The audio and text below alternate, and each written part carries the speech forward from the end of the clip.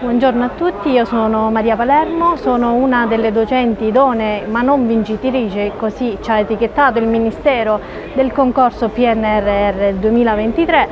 Eh, come dicevo parlo a nome di tutti i docenti che come me chiedono almeno di avere una gradatoria di merito, cosa che oggi non abbiamo, non conosciamo la nostra posizione in gradatoria e saremo costretti, secondo il Ministro, a rifare il concorso a novembre. Questo è ingiusto, eh, per quanto mi riguarda ho superato un orale riportando una votazione di 100, l'ho scritto con 90 e a novembre devo essere risottoposta e rivalutata secondo le stesse modalità. Questa è una pura ingiustizia, la meritocrazia non viene riconosciuta, chiedo a nome di tutti al Ministero di prendere dei seri provvedimenti e che ci possa rispondere in maniera tempestiva.